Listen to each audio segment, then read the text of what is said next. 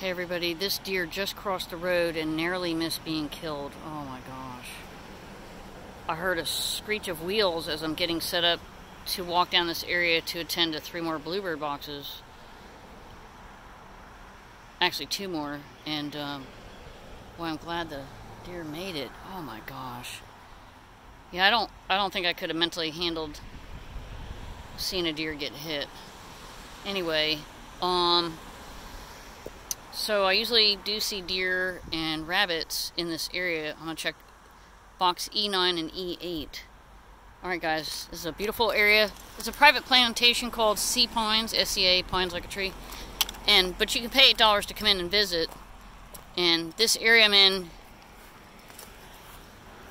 right now it's roped off. They, they were using it for beach parking. But that just started last year. And, uh, but this year because of the coronavirus, you know, we we don't have as many people on Hilton Head, but it is getting a lot busier.